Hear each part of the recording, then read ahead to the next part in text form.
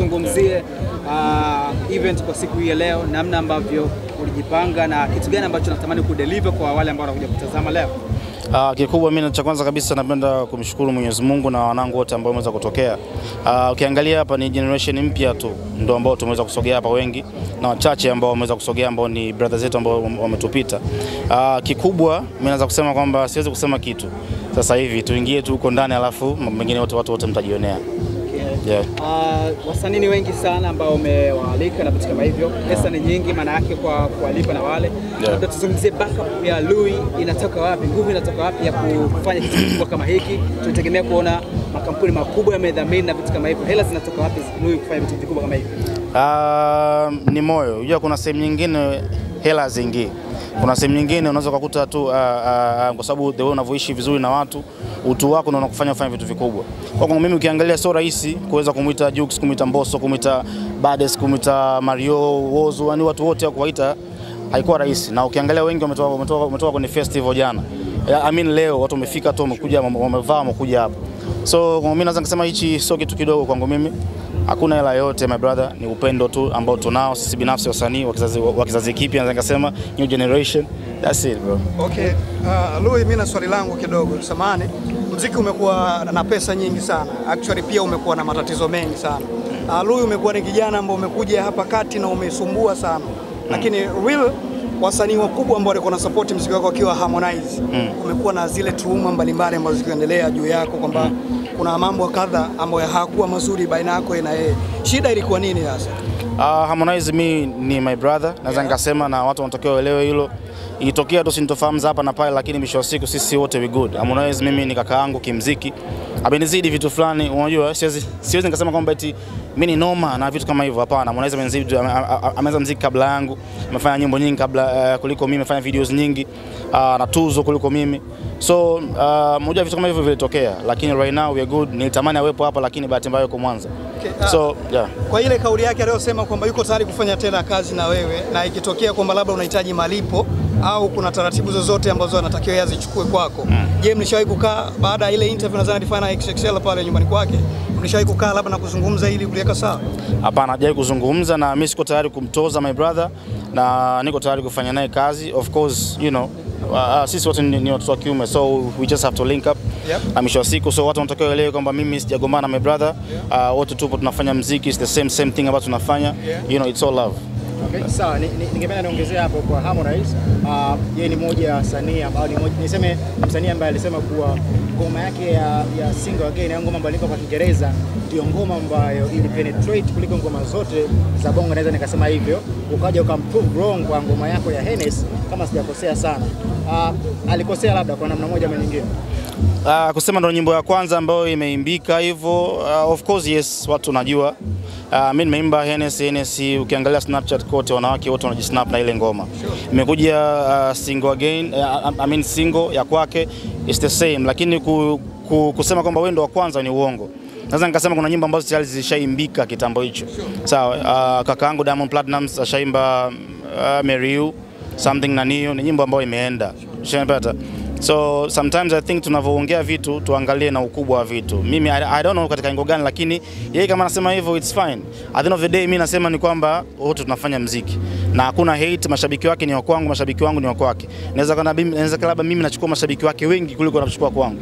So that's it man. Okay. Kuna haja ya wasanii wa bongo kuimba nyimbo za Kiingereza kwa lugha ya Kiingereza. Haja ipo kubwa sana bro. Yaani naamini kwamba haja ipo kubwa sana kwa sababu uh, collabs watu wengi wanakuelewa kirahisi kwa sababu ukiimba Kiingereza. Mimi nyimbo zangu zimeenda nyingi za Kiingereza. Ukiangalia Selema nimeimba Kiswahili lakini kuna Uingereza fulani ndani yake. Vesi ya kwanza Hennessy na Kiingereza, nyimbo yangu ya Tight na Kiingereza, nyimbo nyingi za Kiingereza. Kwa hiyo naona tu ni unyama. Tuimbe tu Kiingereza, tuchanganye malugha nini lakini yote tufanye muziki fana ya Kinyamwezi. Yes. Wewe ni mmoja wa wasanii ambaye umefanya kazi na wasanii wengi wa nje, lakini pia ngoma zako zimepenya uh, ukitofautisha na wasanii wengine wa bongo. Nadhani baadhi ya wasanii, kwa sababu si wote ambao wanaweza kufanya ngoma uh, international, wanaweza kusogea zaidi international kama hivyo. Nadhani hawa wasanii wengine wa bongo wana- wana- wanafeli wapi? Wapi ambapo uh, panakwamisha au pana- pana- panafanya ngoma zao zisipenetrate kama nyimbo ambavyo zina- zinapenya? I think uh, kila mtu na target yake na the way ana- ana- anavyopromote sorry, uh, kwa sababu ukiangalia nyimbo ya Mavokali kuna namna fulani ambayo yeye mwenyewe kafanya ametarget fulani, nyimbo imeenda bigger.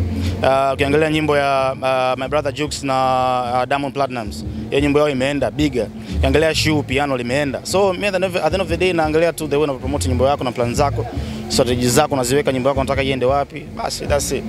Amnaga Uh, amnaga uganga hapo my bro. Okay, Lui, tuzungumzie the summer in. Uh, ni siku special sana kwetu, lakini tumeona imekuwa ni siku kubwa sana. Uh, tuzungumzie hili kwa sababu tunaona watu washaingia hapa na wengine wanakuita sasa hivi, tuweze kutoka kwenye hiyo kidogo. Yeah. yeah. Uh, Summer In na, uh, ni festival ambayo itaenda sehemu tofauti tofauti. Actually ni kitu ki- kipi ambacho mimi nimejaribu kukileta katika game letu la Bongo.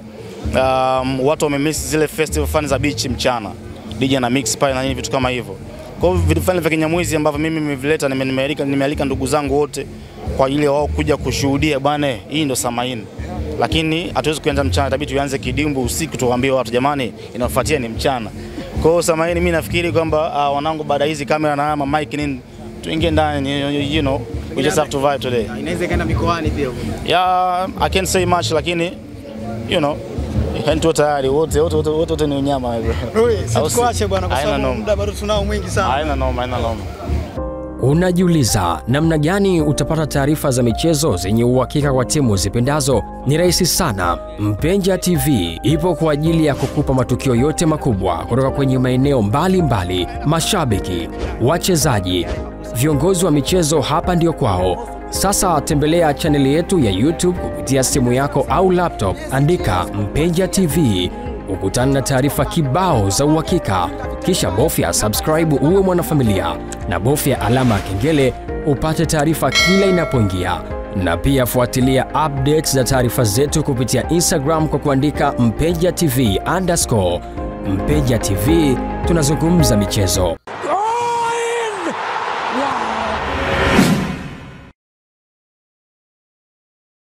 Unajiuliza namna gani utapata taarifa za michezo zenye uhakika kwa timu zipendazo? Ni rahisi sana. Mpenja TV ipo kwa ajili ya kukupa matukio yote makubwa kutoka kwenye maeneo mbalimbali, mashabiki, wachezaji, viongozi wa michezo, hapa ndio kwao. Sasa tembelea chaneli yetu ya YouTube kupitia simu yako au laptop, andika Mpenja TV ukutana na taarifa kibao za uhakika, kisha bofya subscribe uwe mwanafamilia na bofya alama ya kengele upate taarifa kila inapoingia, na pia fuatilia updates za taarifa zetu kupitia Instagram kwa kuandika Mpeja TV underscore.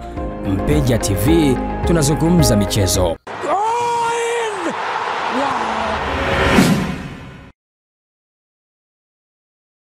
Unajiuliza namna gani utapata taarifa za michezo zenye uhakika kwa timu zipendazo? Ni rahisi sana. Mpenja TV ipo kwa ajili ya kukupa matukio yote makubwa kutoka kwenye maeneo mbalimbali, mashabiki, wachezaji, viongozi wa michezo, hapa ndio kwao. Sasa tembelea chaneli yetu ya YouTube kupitia simu yako au laptop, andika Mpenja TV ukutana na taarifa kibao za uhakika, kisha bofya subscribe uwe mwanafamilia na bofya alama ya kengele upate taarifa kila inapoingia, na pia fuatilia updates za taarifa zetu kupitia Instagram kwa kuandika Mpeja TV underscore.